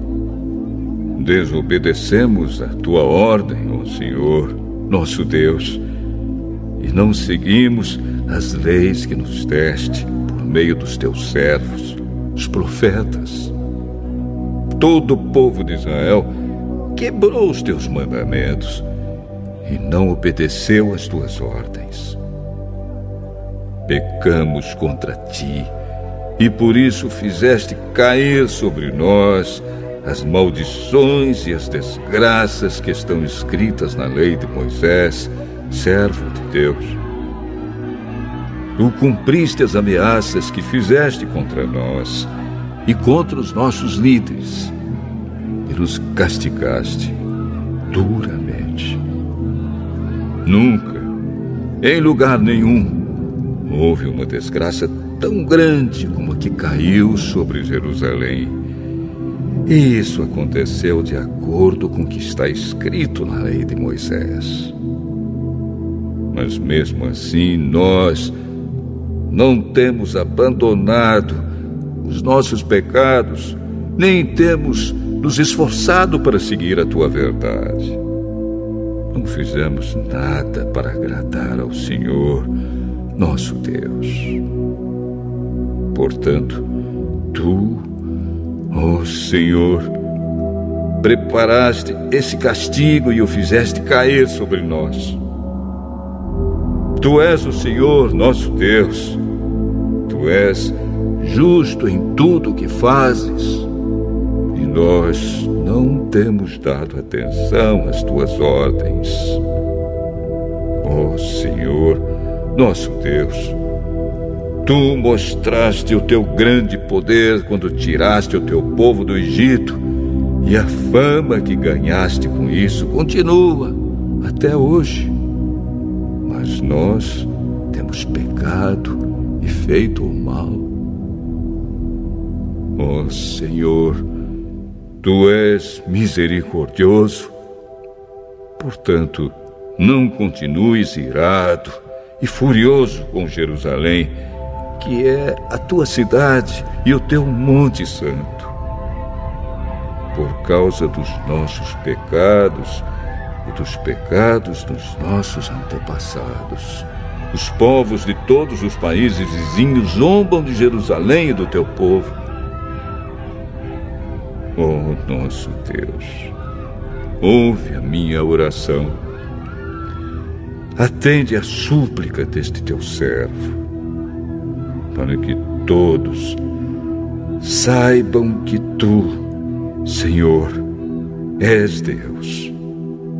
Derrama as tuas bênçãos sobre o teu templo, que agora está abandonado. Ouve, ó oh meu Deus, e atende a minha oração. Abre os olhos, vê a nossa desgraça e olha para a tua cidade. Fazemos os nossos pedidos por causa da tua grande compaixão e não porque sejamos bons e honestos. Ouve, ó Senhor, perdoa-nos, Senhor, atende-nos, Senhor, e vem ajudar-nos. Para que todos saibam que tu és Deus, não demores em nos socorrer, ó meu Deus, pois nós somos o teu povo e Jerusalém é a tua cidade. Eu continuarei a orar e a confessar os meus pecados e também os do meu povo e a fazer ao Senhor, meu Deus, as minhas súplicas em favor do seu Monte Santo.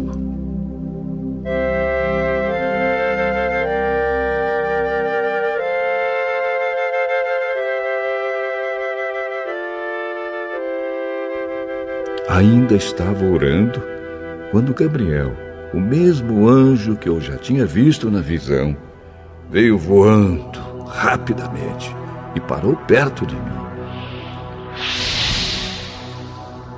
Eram três horas, a hora do sacrifício da tarde. Ele disse: Daniel, eu vim explicar o que quer dizer a visão. Logo que você começou a orar, Deus atendeu o seu pedido. Deus o ama muito e por isso me mandou explicar a visão a você. Portanto, preste atenção e procure entender o que vou dizer.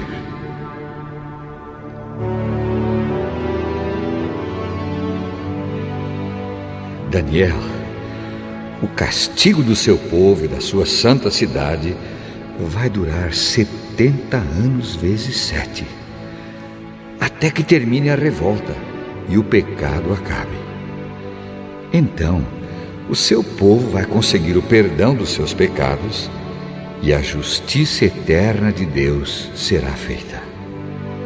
A visão e a profecia serão cumpridas e o santo templo será inaugurado de novo. Preste atenção, Daniel, e compreenda. Depois de ser dada a ordem para reconstruir Jerusalém, sete anos vezes sete vão passar até que chegue o líder escolhido por Deus. As novas ruas e muralhas de Jerusalém durarão 62 anos vezes sete, mas será um tempo de muito sofrimento. No fim desse tempo, o líder escolhido por Deus será morto injustamente. Chegará um rei com seu exército e destruirá a cidade e o templo. O fim virá como uma enchente, trazendo a guerra e as destruições que Deus resolveu mandar. Esse rei fará com muitos povos um acordo que durará sete anos. Quando passar metade desse tempo, ele acabará com os sacrifícios de animais e as ofertas de cereais no templo. O grande terror será colocado no lugar mais alto do templo e ali ficará até que aquele que fez isso seja destruído, conforme Deus resolveu.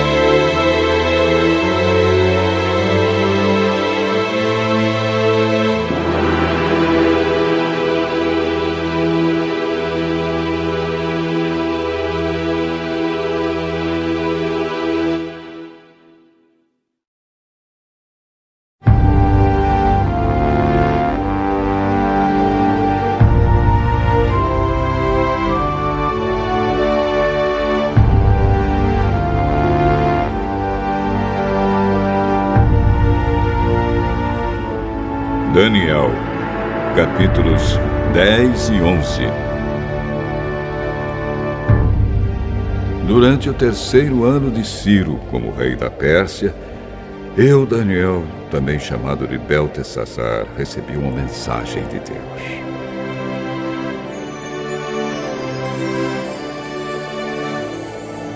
A mensagem era verdadeira, mas muito difícil de entender. Eu recebi a explicação por meio de uma visão. Naquela ocasião, fiquei de luto por três semanas. Durante aquele tempo, não comi nenhuma comida gostosa, nem carne, não bebi vinho e não penteei o cabelo. No dia 24 do primeiro mês do ano, eu estava na beira do grande rio Tigre, quando, de repente, vi um anjo vestido com roupas de linho e usando um cinto de ouro puro. O seu corpo brilhava como pedras preciosas. O rosto parecia um relâmpago. Os olhos eram como tochas acesas. Os braços e as pernas brilhavam como bronze polido. E a voz soava como o barulho de uma multidão. Eu fui o único que vi essa visão.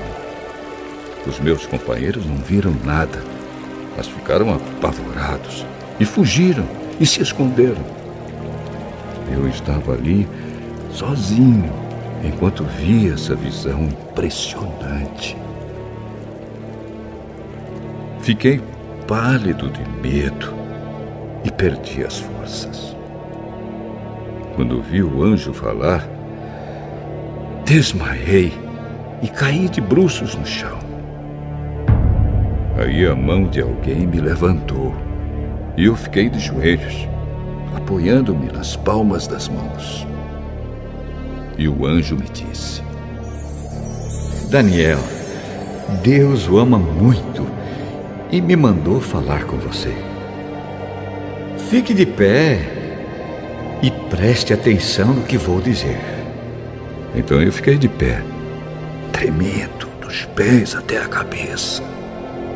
Aí ele disse: Não fique com medo, Daniel, pois Deus ouviu a sua oração desde a primeira vez que você se humilhou na presença dele a fim de ganhar sabedoria. Eu vim em resposta à sua oração. O anjo protetor do reino da Pérsia lutou contra mim durante 21 dias.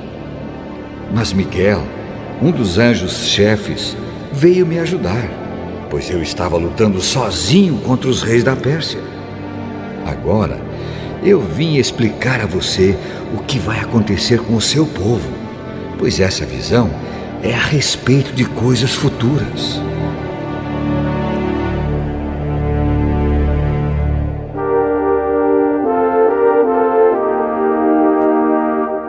Enquanto ele me dizia isso, eu fiquei calado olhando para o chão. De repente, um ser parecido com um homem tocou nos meus lábios. Aí comecei a falar e disse ao anjo que estava na minha frente: Meu senhor, essa visão me deixou aflito e estou me sentindo fraco. Como é que eu, o seu criado, posso falar com o senhor? Estou completamente sem forças e quase não posso respirar. Então ele me tocou de novo e com isso senti as minhas forças voltarem. Ele disse: Deus o ama. Portanto, não fique com medo. Que a paz de Deus esteja com você. Anime-se. Tenha coragem. Então eu me senti bem mais forte e respondi: Fale, pois o Senhor me deu novas forças. Ele disse: Sabe por que eu vim falar com você? Foi para dizer-lhe o que está escrito no livro da verdade. Mas agora eu preciso ir lutar contra o anjo protetor da Pérsia. quando a luta acabar, virá o anjo protetor da Grécia. Mas, na minha luta contra eles, não há ninguém para me ajudar, a não ser Miguel, o anjo protetor de Israel. Ele tem a responsabilidade de me ajudar e defender.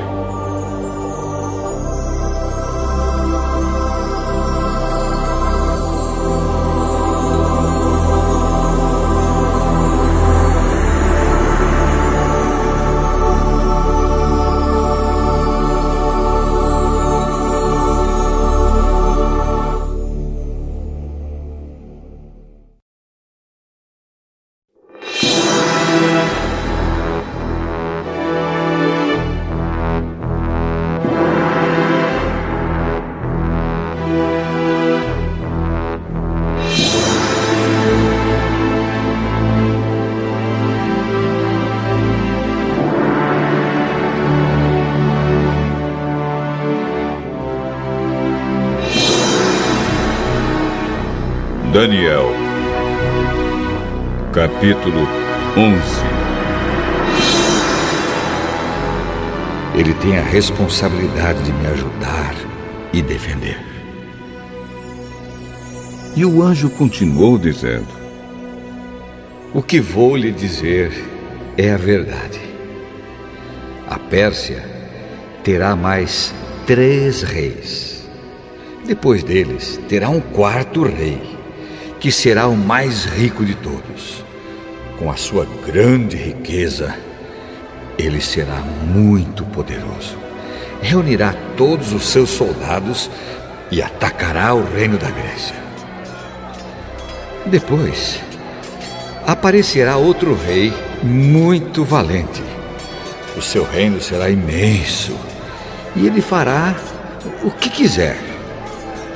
Mas quando o seu poder chegar ao máximo, o seu reino será desfeito e dividido em quatro partes.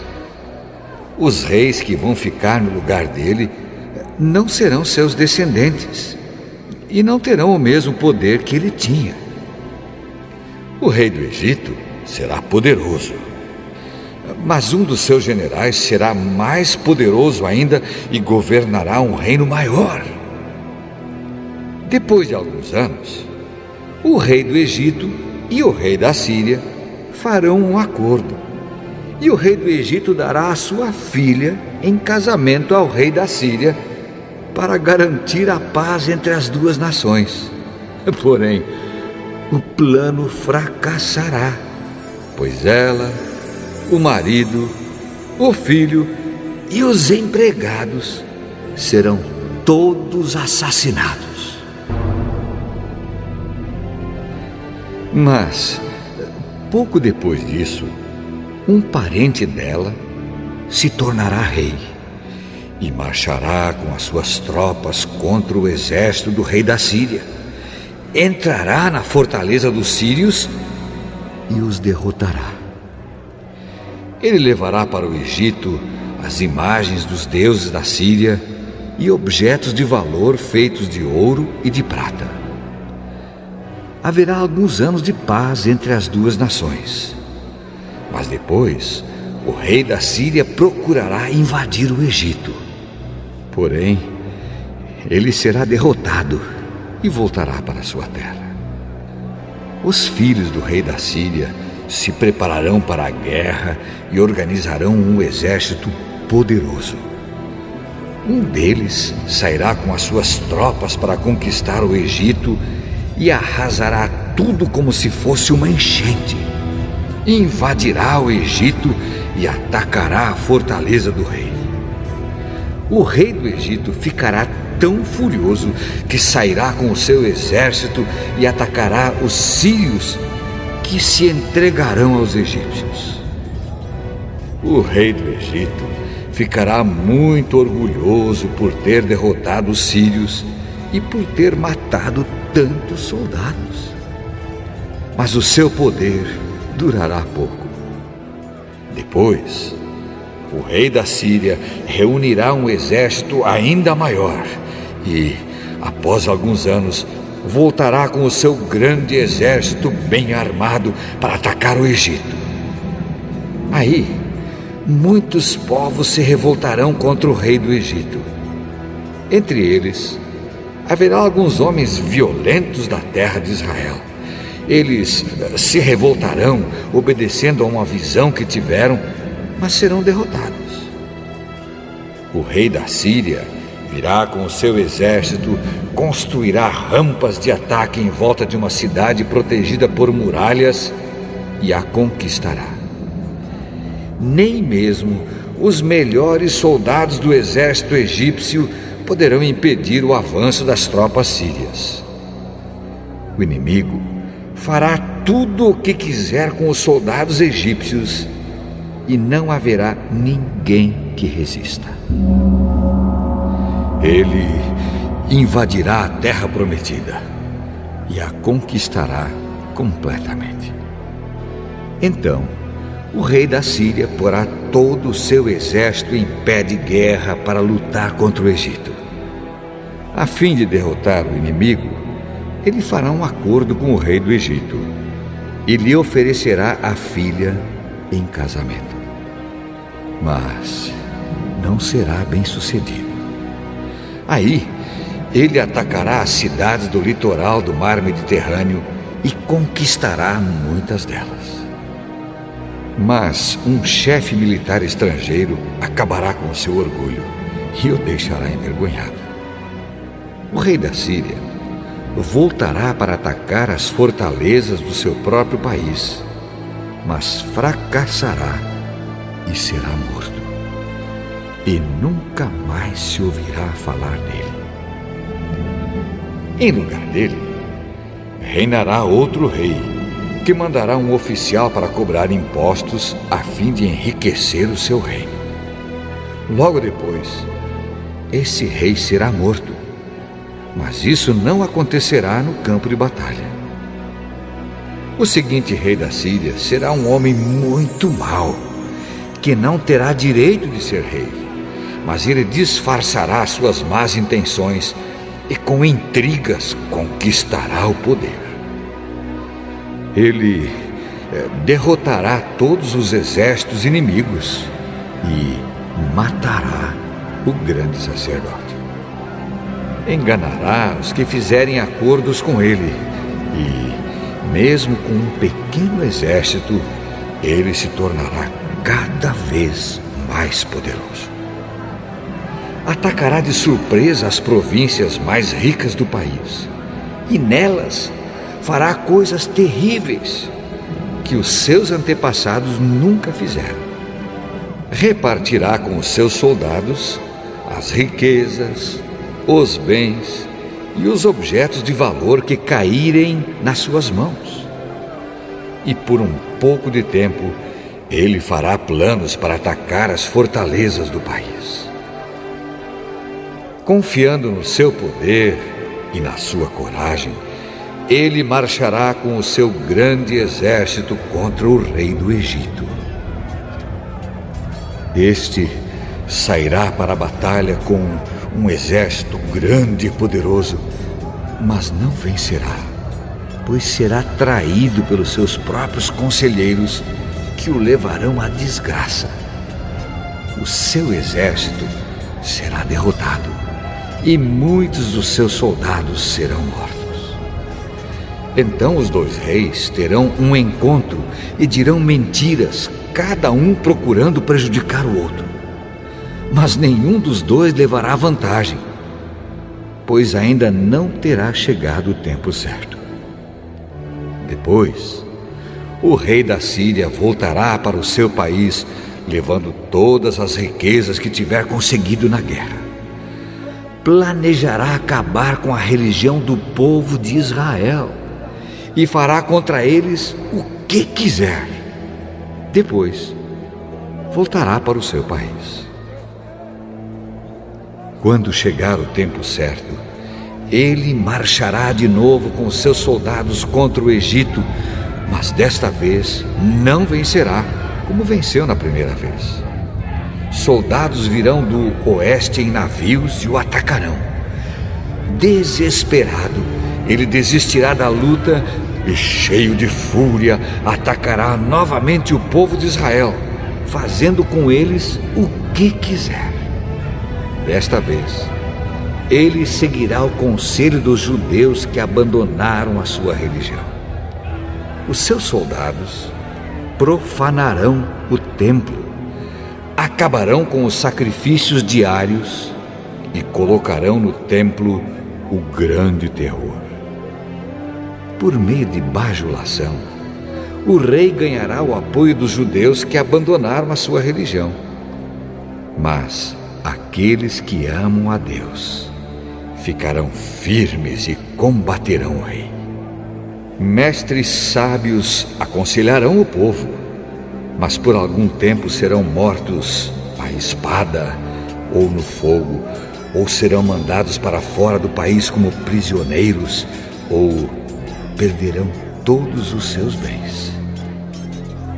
Durante este tempo de perseguição, o povo de Deus receberá a ajuda de alguns, mas muitos os ajudarão só por interesse próprio. Alguns dos mestres sábios serão mortos, mas isso será um meio de purificar e aperfeiçoar o povo de Deus.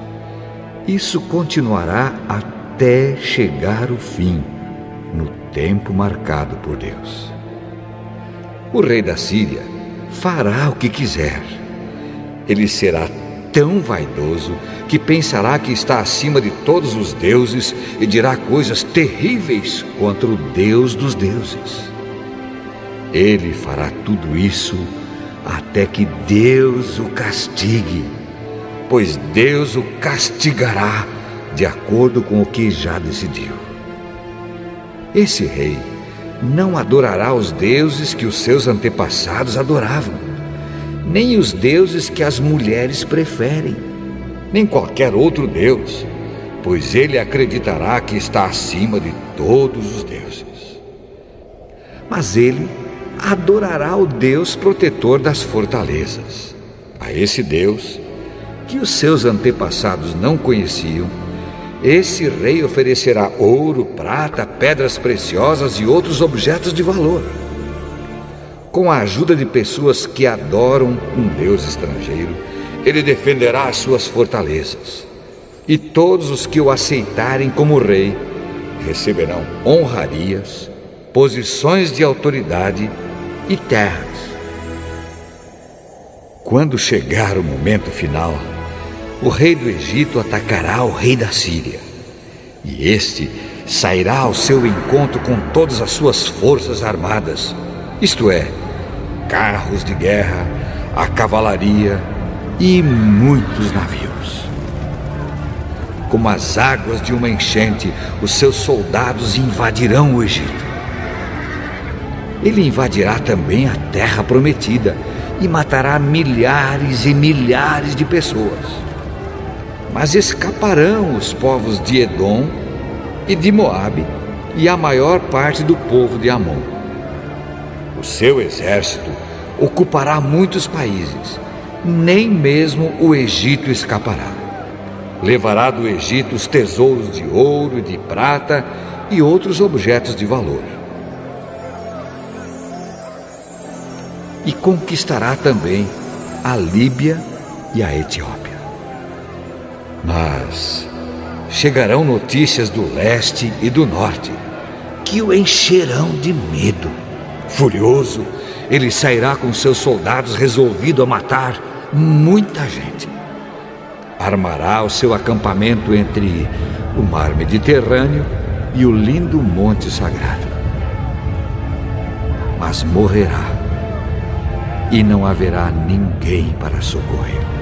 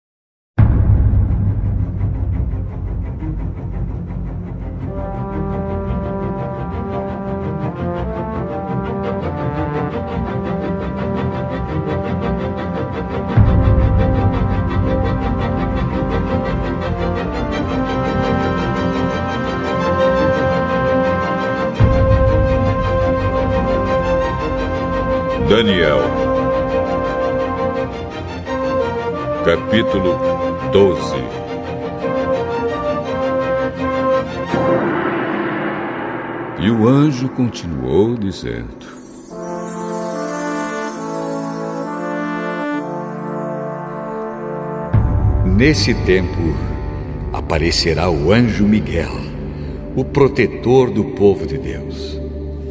Será um tempo de grandes dificuldades, como nunca aconteceu desde que as nações existem. Mas, nesse tempo, serão salvos todos os do povo de Deus que tiverem os seus nomes escritos no livro de Deus. Muitos os que já tiverem morrido viverão de novo. Uns terão a vida eterna e outros sofrerão o castigo eterno e a desgraça eterna. Os mestres sábios, aqueles que ensinaram muitas pessoas a fazer o que é certo, brilharão como as estrelas do céu, com um brilho que nunca se apagará. E você, Daniel, não conte nada disso a ninguém. Feche o livro com um selo para que ele fique fechado até o momento final. Muitos correrão de cá para lá procurando ficar mais sábios.